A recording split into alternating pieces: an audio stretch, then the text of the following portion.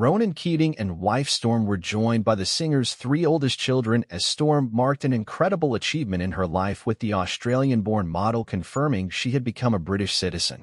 The mom of two took to Instagram to share the joyous news, and you've seen some of the highlights from her ceremony in the clip below.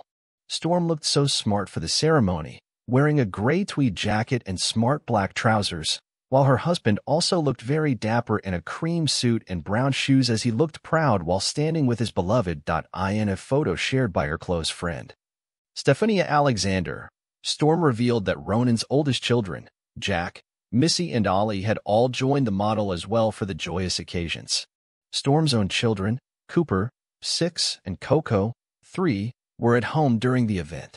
The clip also revealed a small party that Storm held after the event, which included both British and Australian flags and a red cake that said, You're a Pomausie, a play on Australian and the term Pommie. dot In a happy caption, the 41-year-old said.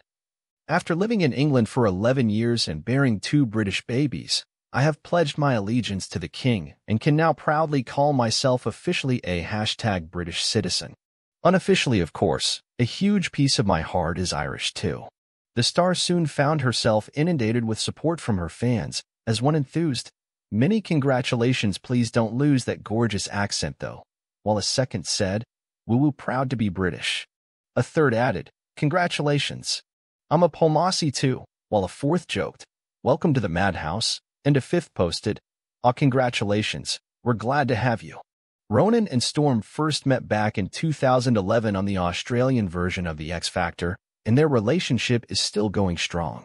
In an interview with Hello, earlier in the year, the Irish singer revealed that he and his wife still leave little notes for one another around the house. Ronan recalled when Storm was living in Australia at the start of their relationship. They would send each other tracks that reminded them of heartwarming moments from special days they spent together. The star explained, When we were first dating, we'd send each other songs, which remind us of little moments we spent together because she was in Australia and I was in Ireland. Romance is very important to both of us.